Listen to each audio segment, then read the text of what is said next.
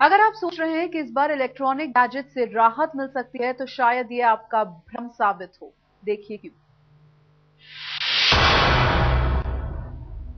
आकाश चलिए electronic goods की बात करते हैं क्योंकि ये वो चीज़ें हैं जो हर घर में इस्तेमाल होती है और इन बिना काम नहीं चलता। और एक जो चीज़ है जो लग्जरी से नेसेसिटी में तब्दील हो गई है वो मोबाइल फोन्स हैं। उनके बारे में क्या प्रोडिक्शन है? मोबाइल फोन्स में क्योंकि इंपोर्टेड कंपोनेंट्स कुछ हद तक यूज़ होते हैं तो मेरी एक्सपेक्टेशन ये है क्योंकि कंपोनेंट्स पे ड्यूटी बढ़ने के चांसेस हैं तो मोबाइल फ़ोन जो हैं हैंडसेट्स वो महँगे हो सकते हैं।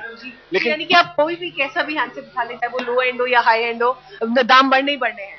जी हाँ मेरे हिसाब से किसी भी तरह के चाहे सस्ते वाले हों महँगे वाले हों पॉसिबिलिटी यही है कि मोबाइल हैंडसेट्स के दाम बजट में बढ़ेंगे। ये एक पॉसिबिलिटी लग रही है। लेकिन साथ ही साथ एक खुशखबरी भी बता दूँ एक बहुत अच्छी पॉसिबिलिटी लग रही है मोबाइल के कॉल चार्जेस की।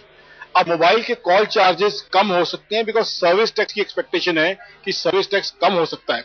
चलिए बातें अब आप और भी ज़्यादा कर सकते हैं खुल के बात कर सकते हैं लेकिन क्या खुल के बाकी तमाम चीज़ें भी जो इलेक्ट्रॉनिक चीज़ें हैं उनको आप एंजॉय कर सकते हैं। इनके बारे में आपका प्रोडिक्शन क्या है? क्या लोग इंतज़ार करें? बजट आने का सस्ते होंगे या फिर अभी खरीदे महँगे बिल्कुल आपने सही कहा लोग अपग्रेड करना चाहते हैं अपना एंटरटेनमेंट न्यू जो है एलसीडीज खरीदना चाहते हैं। मेरी एक्सपेक्टेशन ये है कि इनके ऊपर भी टैक्सेस बढ़ेगा।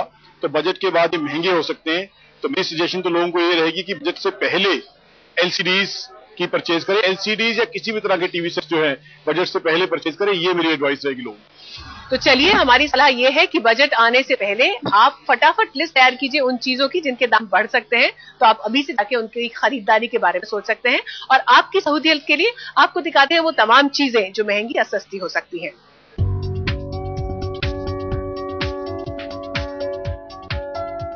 गर्मी का मौसम आने से पहले ही वित्त मंत्री आपके पसीने छुड़ाने के लिए तैयार हैं। अगर आप ये उम्मीद लगाए बैठे थे कि बजट के बाद एयर कंडीशनर और फ्रिज जैसे आइटम थोड़े सस्ते दामों में ले लेंगे तो इस उम्मीद का टूटना तय समझिए। इस बजट में फ्रिज और एसी दोनों के ही दाम बढ़ने की संभावना है। बच्चों के पसंदीदा वीडियो गेम्स पर भी वित्त मंत्री की टेढ़ी नज़र है। और जितना महँगा वीडियो गेम समझिए दाम में उतनी ही ज़्यादा बढ़ोतरी। लग्जरी सेगमेंट में आने वाले वीडियो गेम्स और कैमरा जैसे इलेक्ट्रॉनिक आइटम्स में लगने वाले कुछ कंपोनेंट्स की इम्पोर्ट ड्यूटी इस बजट में बढ़ाई जा सकती है। लिहाजा, इनके दाम बढ़ना भी लाजमी है। इन बढ़ती कीमतों के बीच थोड़ी राहत अगर कहीं मिलती दिखती है तो वो कंप्यूटर के दामों में होगी। जी नहीं कंप्यूटर के दाम कम नहीं होंगे, लेकिन हाँ इनमें किसी भी तरह के बदलाव की संभावना कम ही है।